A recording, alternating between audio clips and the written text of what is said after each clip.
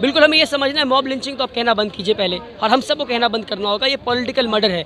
Mob lynching तब तक है जब तक एक लिंचिंग ग्रुप उस लिंचिंग में इन्वॉल्व लिंचिंग करती है।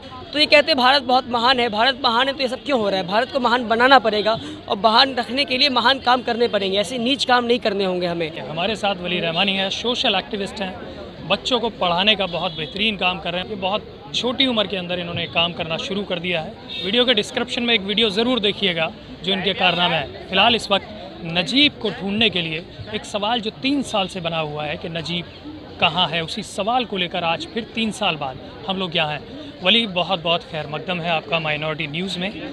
आज आप यहाँ पे पहुँचे हैं, कई बार ऐसे मौक़ों पर नज़र आते हैं। क्या लगता है आपको कि देश के अंदर इस तरीके से लोगों का गायब हो जाना और सीबीआई की क्लोज़र रिपोर्ट दे देना? बात को समझना कि दो दिन पहले नरेंद्र मोदी की भतीजी का बैग गायब होता है, चोरी हो जाता है। कुछ घंटों में पूरी दिल्ली पुलिस मिलकर उन चोरों को पकड़ लेती है।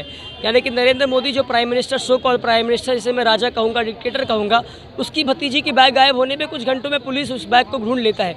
और एक आम माँ का, आम बच्चे का गायब होने पर तीन साल के बाद क्लोज केस क्लोज जाता है।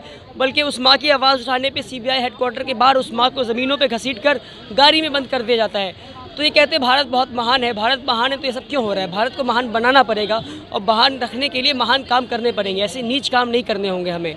तो हमें इस बात को समझना है कि तीन साल से एक माँ अपनी गुहाई लगा रही है कि मेरा बच्चा कहाँ है?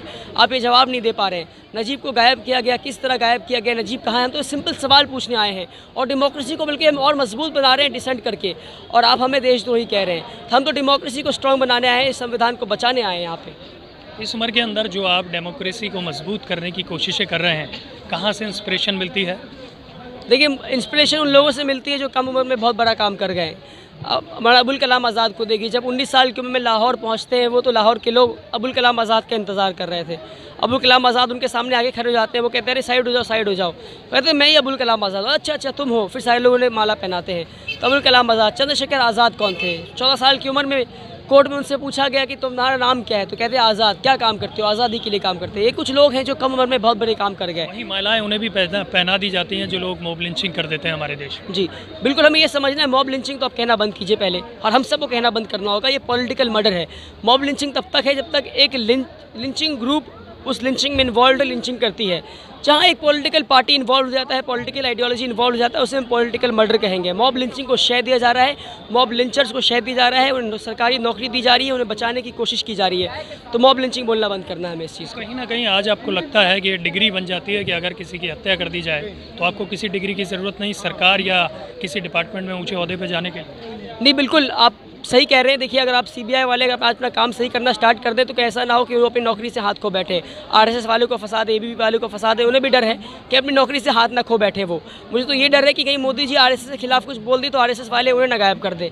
तो ये भी हो सकता है, कुछ भी हो सकता है देश में आज। देश के हालात बहुत ख़राब है।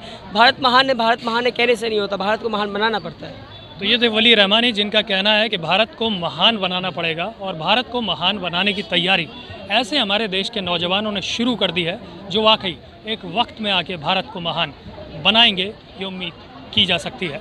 कैमरा पर्सन इमरान खान के साथ, मैं आसिफ खान, माइनॉरिटी न्यूज़ के लिए नई दिल्ली से।